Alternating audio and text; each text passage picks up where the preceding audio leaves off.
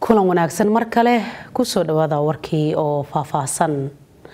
Aan ku bilaabe madaxweynaha dalkani kenya uhuru kenyatta ayaa maanta si rasmi ah waxa uu u furay kulanka shanaad ee dowlad wadaajinta ee ka dhacay ismaamulka kakamega ee galbeedka dalkani kenya shirkan oo ah mid sanadla ah ayaa waxaa diradda lagu saaray waxyaabaha maamul goboleedyada kala duwan u qabsoomay oo u horseeday nidaamka dowlad wadaajinta. Sidoo kale waxaa kulanka looga gol leeyahay in laysla meel dhigo sida dowladda dhexe iyo ismaamulada ay uga wada shaqeyn kari lahaayeen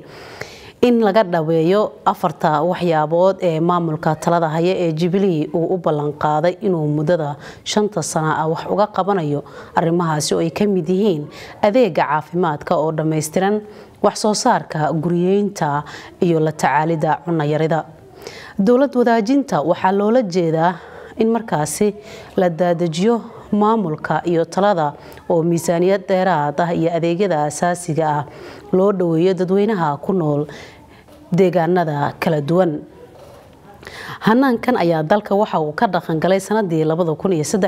waxaana tan iyo xilligaasi la qabanayay kulamo sanadla ah oo lagu eegayo horumarka lagu tallaabsaday iyo caqabadaha markaasi jira